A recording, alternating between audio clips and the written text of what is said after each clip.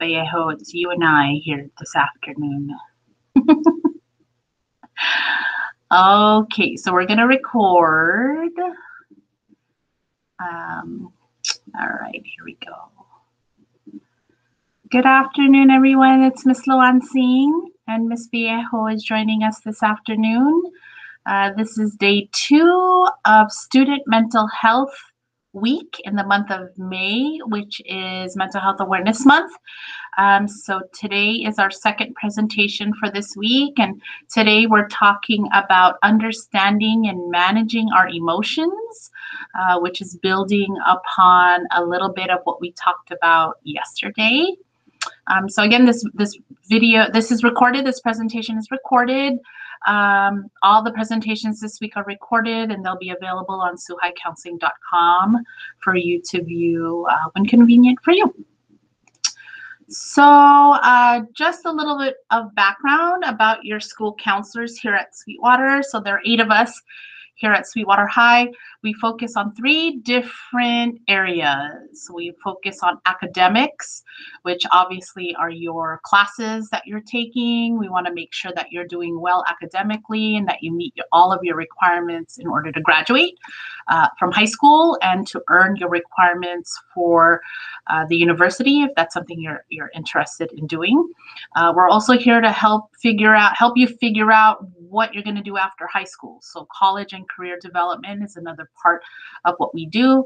Uh, we visit your classes every year to give you a lesson on uh, choosing your career, choosing a college or a training program or an apprenticeship or a line of work that might be a, a best fit for you. Um, and third, the third area that your counselors focus on are your social and emotional development. Um, talking about your feelings and your emotions um, because depending on how you're doing emotionally and how you're doing mentally will definitely lends a hand to how you function every day. And if you're feeling well emotionally then you can you can deal with the things that you deal with every day as most especially to do well at school. And so that's um, important to us. And so this week we're fo- focusing on student mental health. And uh, yeah let's move on. So yeah we're focusing on social emotional development this week for student mental health week so just some group norms. I know it's just Miss Vallejo and I here, but anytime we meet uh, together, uh, we want to make sure that we're respectful of each other's feelings, respectful of what we share, um, and that we're good listeners. Um, so today, what we're focusing on is the difference between thoughts, emotions, and behaviors. So yesterday we did talk about feelings and emotions and how those manifest themselves physically in our physical bodies. Uh, we'll identify how thoughts and emotions can impact uh, choices that you make. Uh, we'll identify strategies for making positive behavior choices. And we're going to understand how empathy impacts everyday relationships. So we'll talk a little bit about empathy today as well. So social emotional includes mental health. So just as we talked about yesterday, what is mental health? That's the state of your mental and emotional well-being. Uh, we talked yesterday about your physical health, uh, which goes hand in hand with your mental health. So you're a healthy body and a healthy mind equals a happy human. And that's uh, what we hope for all of you as your school counselors. And so we'll move on to this idea of a cognitive triangle. So your thought process, cognitive is how you're how you how you think, how you put thoughts together, um, and that is done through feelings and behaviors. So you have these thoughts, thoughts manifest themselves into feelings, feelings manifest themselves into behaviors, and vice versa, and all together. So these are all hand hand in hand. And so it's important that we're able to identify when we're thinking a certain way and how those thoughts manifest themselves into how we feel our feelings and emotions and how that manifests itself into how we behave the actions we take and the choices that we make, all of things, all of these things go hand in hand. So it's important that we don't think of them separately, that we think of them as um, things that we need to consider equally and all together and in considering our mental health. So when we're thinking about this cognitive triangle and your thoughts and your feelings and your behaviors, sometimes those negative thoughts uh, overtake um, our minds. And so sometimes things get frustrating, things get hard, and we tell ourselves, I can't do this. This is too hard. I can't, I can't, I can't, I can't, I can't. Um, and then that manifests itself manifests in itself into you feeling maybe inadequate or not enough, maybe even embarrassed. So you start having these feelings of not being good enough, uh, feelings of being embarrassed. Um, and then you act out. So you stop going to class, you stop doing your work, you stop interacting with your teachers, you, you stop going to class. Um, and then that becomes this kind of domino effect when it comes to school. Uh, you can even put this example into maybe sports that we play, or maybe a musical instrument that we've tried to to play, or maybe even a relationship that you might have with somebody. Um, these thoughts thoughts become feelings, feelings become behaviors, and then the behavior lends itself to thoughts, and it kind of just snowballs like that. So it's important that we recognize when we start having negative thoughts because those negative thoughts lead to negative feelings and negative behaviors. And I have this this wheel actually on my wall here in my office and when I have students come in and they're feeling they're having the feelings um, and sometimes it's hard to really put those feelings into words. And so sometimes I just have the students kind of look at this this wheel that's on my wall and point to where it is where where they're feeling. So what you'll want to do is kind of start on the inside of this wheel to help you identify how you're feeling. And that's like your primary emotion, your primary feeling. So the inside of that wheel. So are you sad, joyful, powerful, scared, mad, or peaceful. So that's like the uh, the biggest piece of the pie here. They're bigger pieces, right? So you pick there. So let's say I'm feeling peaceful. So I'm green. We talked about colors and feelings and stuff yesterday too. So if I'm feeling peaceful, I'm going to move up to the next step there. So not only am I peaceful, I'm feeling content. Okay. And I move to that next level. After content, I'm feeling relaxed. And so that allows me to put my feelings and how what what's going on inside of my heart and in my mind into words. And so this this uh, feelings wheel is very helpful when you're trying to identify what you're feeling at the moment, whether you're mad or you're angry or you're scared, you're frustrated. Um, this kind of helps you narrow down exactly how you're feeling. So um, that's important to be able to put words to how it is that you're feeling. Um, empathy is the ability to understand and share feelings of somebody else. Um, so sometimes you might be in the presence of a friend or a, a teacher or your mom or your dad, your brother or sister, and they're not actually they're they're acting kind of funny. They're acting different. They're not their usual self, and um, having empathy is being able to understand the feelings that that other person is feeling and that's really important when it comes to mental health too uh, that you're able to identify with the people that you surround yourself itself with and being able to sh- understand and share some of the feelings that they're having. So I'm going to show this little video and then we'll talk a little bit more about it.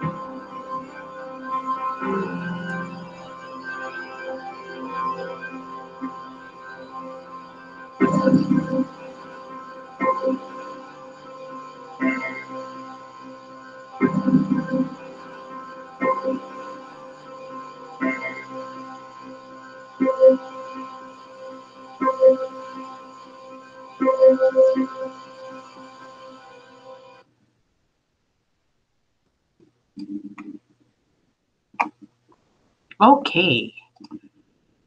So the at the end of the video, it asks you a, a very important question. If you knew those things that you know the little captions, if you normally don't know those things about people as you interact with people on a daily basis, but um, would you interact with people differently if you knew those things were happening in those people's lives?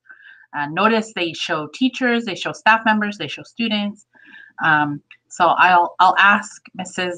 Casas and Miss Vallejo um, to maybe just share some insight about what did we observe in this video? What are some of the things we experience in our everyday um, when it comes to that those those types of occurrences and how that affects how we interact with people on a daily basis.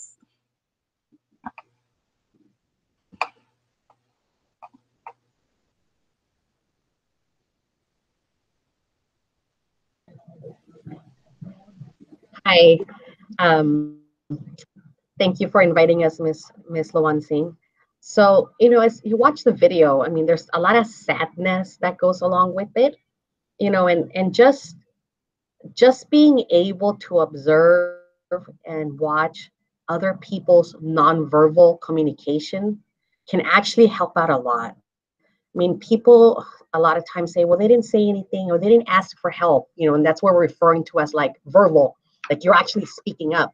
But a lot of times we just need to watch for those those times where people kind of talk to you through their body movements you know and, and that, that that says a lot. And i think many times that even gives you more of a cue than their actual speaking words.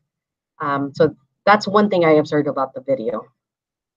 Yeah totally and that can go for any of us in our everyday like we kind of talked about your friends your family you know people you interact with every day and they're not acting like their usual selves and you they might not use words but you can totally see it in the way that they carry themselves. You can see it in their body language. That something's definitely bothering them. And that's part of empathy is you being able to identify some of those things in people that you care about and just asking them like hey you know is everything okay? How you doing today um, you know, something going on, you want to talk about it. Uh, because even just asking those types of questions goes a long way for some people. You know, it shows that they matter. It shows that somebody cares about them. It shows that um, that you're attentive, that they're not their usual self, and that you care, and that's that's real important. Uh, okay.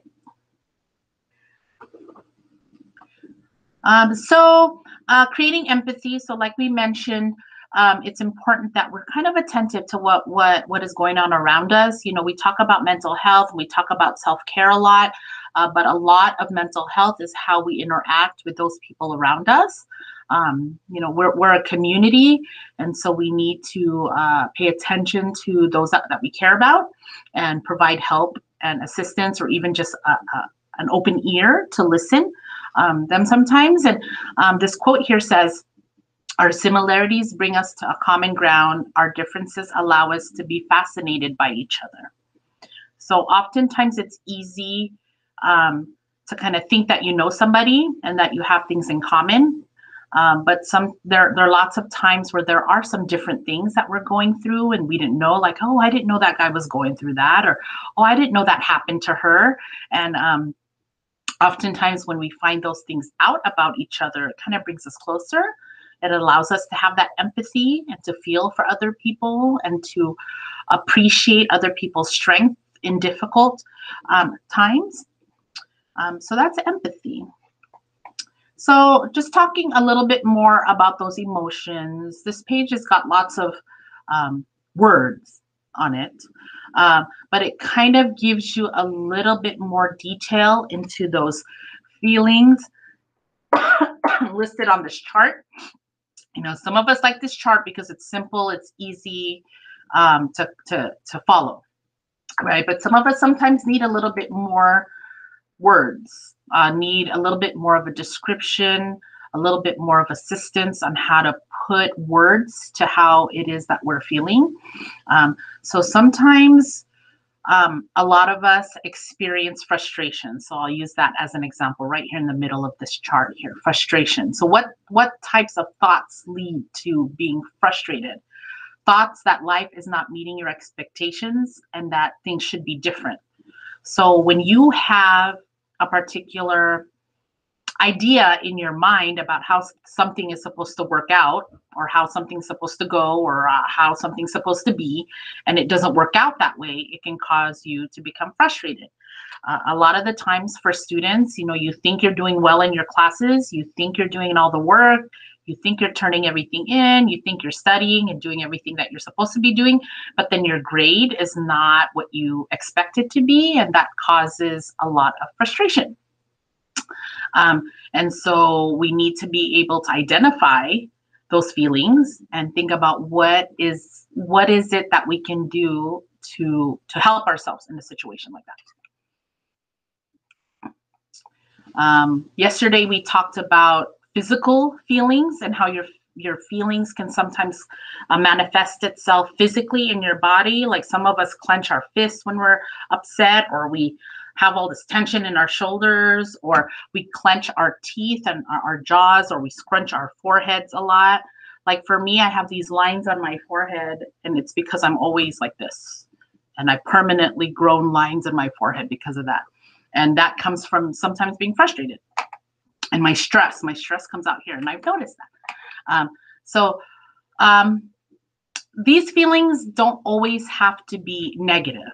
and so the bottom chart here will tell you like how can some of these negative feelings be useful? Okay, so anger, anger can motivate you, uh, can help you communicate how you're feeling to other people. Okay, sadness can show us what's really important and uh, help show others that you need help. It's you know like a cry for help almost, right? Um, anxiety, when you're feeling anxiety, can alert us of danger or problems, can prepare our body to better cope with, with stress and things that might be threatening, can save us time in getting us to act in important situations. Um, guilt can help us recognize when our behavior isn't in line with other people's values, can motivate us to maybe change our behavior to something more positive, um, can even help us maintain social connections. So even though some of these emotions may have a negative connotation, there can be a way that some of these feelings can be useful to help us improve our mental health. So other some things you can do to regulate your emotions. We talked a little bit about this yesterday. Um, there's a list of things here that you can do to um, distract yourself from these feelings that you might be having that might not be as desirable and you want to distract yourself take your mind somewhere else to not think about some of those things that are are upsetting um, to you. Um, so there's a whole list of things here. Um, in the presentation yesterday one of the uh, young ladies was saying that these uh, these self-care activities are not one size fits all so they don't work for everybody. So maybe somebody might like yoga, okay? Or maybe somebody hates yoga. Maybe somebody loves to draw. I don't like to draw, so I, I wouldn't do that. Um, I shared yesterday that uh, we've done um, like close your eyes and breathe type of relaxing uh, activities uh, in the counseling center. And um, some people don't like to close their eyes when doing some of those breathing activities. but instead of closing their eyes, they'll choose something in the room to focus um, like I have this little happy face sticker emoji on my wall right there. And instead of closing my eyes, I would probably just focus on that happy face sticker while I do my breathing activities. So when it comes to some of these calming activities or self-care activities, you want to try and find something that fits for you. And just because it works for one person doesn't necessarily mean it's going to work for you. So it's important that you practice some of these things and figure out what works best for you. Um, and you want to always remember you're not alone. Your school counselors are here. Um, and just because you're assigned a particular counselor doesn't mean that's who you have to talk to. So you're, you're as you all probably know, you're assigned a counselor based on your last name, but you don't necessarily have to talk to that person when it comes to social emotional things that you want to talk to. We want you to talk to whatever counselor or whatever trusted adult on campus that you feel comfortable with. So it's important for us that you have a trusted adult on campus that you feel comfortable talking to. So it doesn't necessarily have to be your assigned counselor. We want you to talk to any of us that you feel comfortable talking to. Um, and here are just some resources in the community. Uh, if your counselors or if the school's not open, your counselor isn't available, your teachers are not accessible, and you need someone to talk to, or you have a friend or a family member that you're not quite sure how you can help them and you need help, um, these are phone numbers that you can call. These are 24 hour phone numbers. So we've had some students uh, call these like in the middle of the night because they weren't doing well themselves or, or they had a friend that was sharing some things with them and they weren't quite sure how to help their friend. So they jumped on these 800 numbers to get help for their friend. And we highly encourage you all to use these if you need to. And we found that uh, our students who've used these resources before have found them very useful. So we encourage you to use them um, if uh, school staff is not available at the time that you need it. Um, that's just who and what uh, some of the resources we use today. Um, but yes, that brings us to the end of our uh, presentation. Uh, we appreciate you watching our second video today. Uh, join us tomorrow, Wednesday, Thursday, and Friday this week at 2.30, same link um, for additional mental health resources. So thank you to Mrs. Casas and Mrs. Vallejo Paez for joining us today. Have a nice day, everybody. Bye-bye.